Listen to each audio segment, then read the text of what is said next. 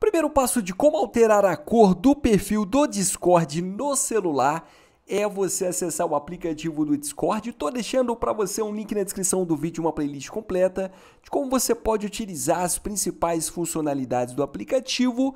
E aqui na tela principal do aplicativo do Discord, na parte inferior, você tem um menuzinho na horizontal, você tem aqui servidores, mensagens, notificações, você do lado direito inferior, você vai tocar aqui no seu avatar, na foto do seu perfil, lado direito inferior em você, e vai ser direcionado para o painel de controle do aplicativo. Como você pode ver no topo, você tem uma cor aqui, que é a cor do perfil, e você vai tocar aqui em editar perfil, tá? Logo em seguida, você vai tocar aqui no lápis do lado direito superior, um pouquinho abaixo de perfis do servidor, né? Tocou, você vai ter a opção, ó, cor da faixa, tá?